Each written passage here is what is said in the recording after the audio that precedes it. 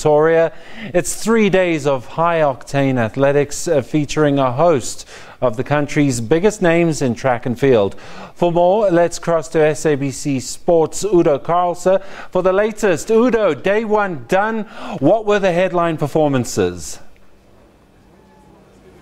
Simon, I tell you, it was uh, a blisteringly hot day in the nation's capital here at the LC de Villiers Stadium. Now, uh, aside from what we're going to look at specifically, there was Stephen Mokoka who came back after a year's absence and just completely demolished the field in the 10,000 metres. Dominique Scott-Efurd is back in South Africa, and she eventually pulled off a national championship in the women's 5,000 metres. Luvo Manyonga out here, he qualified quite easily for uh, the long jump. That's going to be a competitive final come Saturday as well.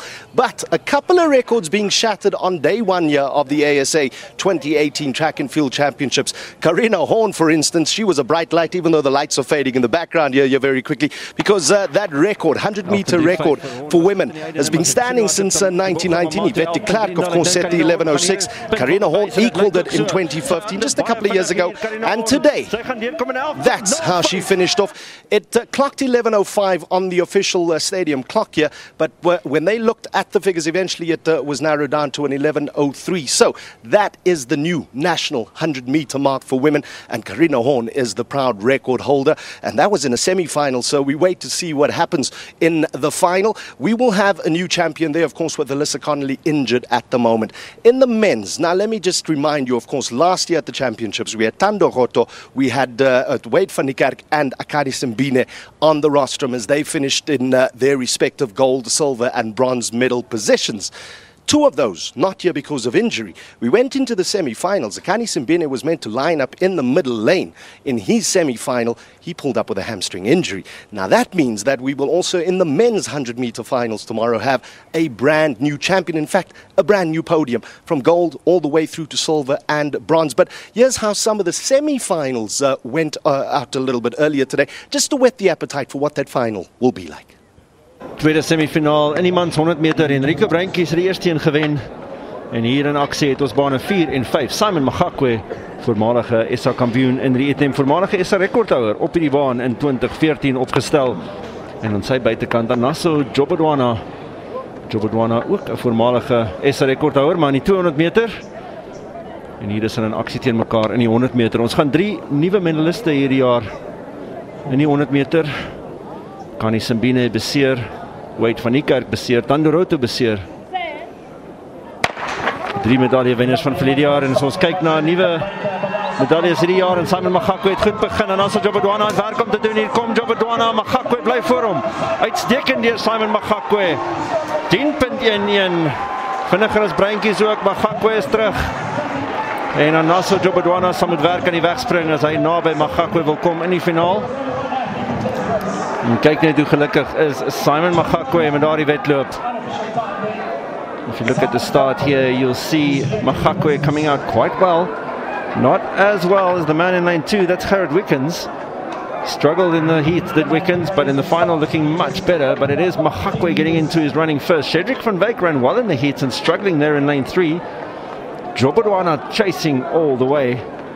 So too Malisela in lane six, but it is Simon hey. Magakwe, 10.11. He'll be very, very happy with that. Well, in heat three, or rather semi-final three of the men's 100 meters, it looks like a much more open field.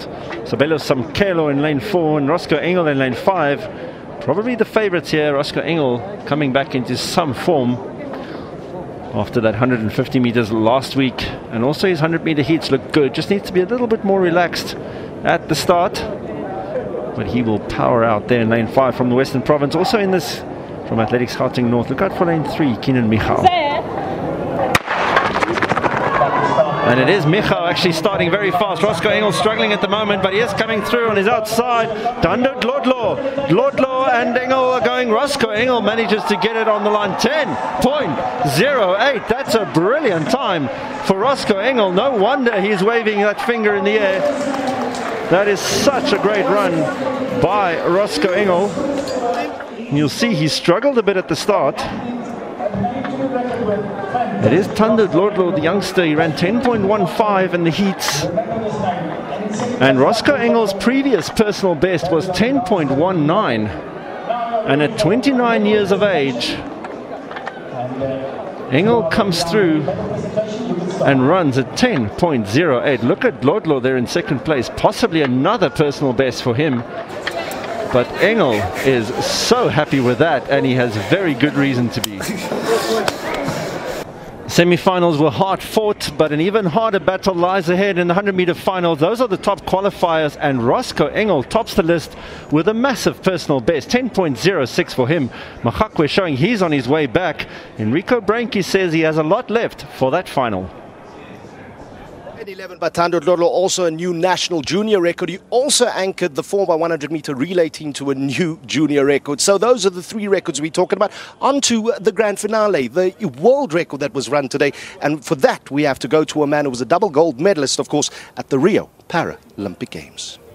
Well, the 100 meters for men in the mixed para category. What that basically means is these athletes all running in different classifications according to the World Paralympian Association. Look out for Charles du Toit in the T37 double gold in the Rio Paralympics in the 100 and the 400. He's also the world record holder in the 100 meters. Also in this race, Dyan Buis going in lane one in the T38 category. And Union Sikalwe, good start there by Dyan Buis. Union Sikalwe right on his outside. And uh, in lane seven, it's Mpumelelo, Mpumelelo Mhlongo in the T44 category running well. Charles du coming through there. Looks like he's right next to Dyan Buis. The winning time there for Mhlongo, 11.28. A great race by all these men. Charles du very, very close there to Mhlongo and Dyan Buis. You can see they're in lane one, Dyan Buis. T38 category, Charles du Toit. Lane 6 in the T37. And then Mpumelelo Mhlongo, T44, crossing the line first. These athletes all in different classifications, as we've said. The Charles du Toit double Rio medalist, or gold medalist rather, looking very good in that race. Great run there by Mpumelelo Mhlongo for first place, 11.26. Dyan Buis winning his personal battle with Union Sikalwe in fifth. But the day belongs to Charles Toit, a new world record in the T37 category. He betters his own mark of 11.42 by running 11.41 seconds.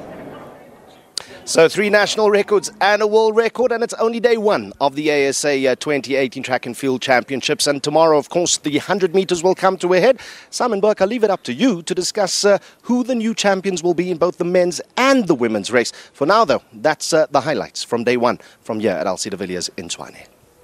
Udo, thanks so much for that comprehensive analysis of day one. We look forward to the rest of the days. You and your team doing a great job. Thank you so much. Right, so there you go. Athletics uh, back.